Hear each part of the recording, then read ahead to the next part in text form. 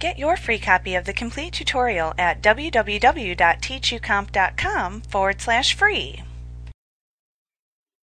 After a customer accepts a quote, you can convert it into a sales order or a sales invoice easily.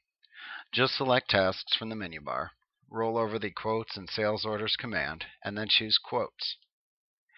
Now in the quote window, display the quote that you would like to convert.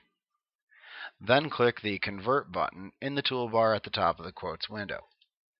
This will bring up the Convert Quote window, and here you have three options for converting a quote under the Convert this quote to a section. You can choose either Sale Invoice, Sale Invoice and Print Now, or Sales Order.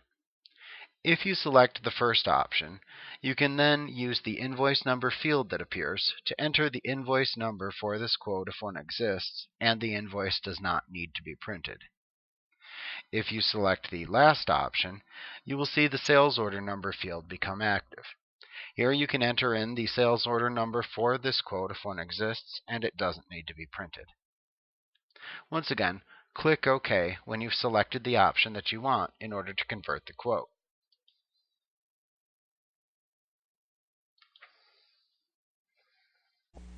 Like what you see? Pick up your free copy of the complete tutorial at www.teachucomp.com forward slash free.